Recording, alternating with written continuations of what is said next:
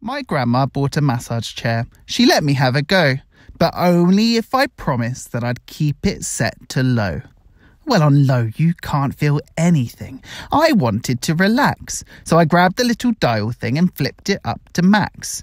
Instantly, it came to life. I swear I heard it roar. It bounced around the living room and then off out the door. The thing was chomping down on me while charging down the road, careening into cars and trees, yet never being slowed.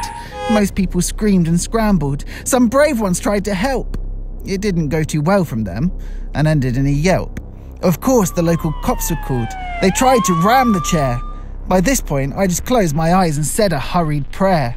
It smushed their cars like little bugs and on it carried still, picking up its speed as now it hurtled down a hill. Then they called the army in. They sent a freaking tank.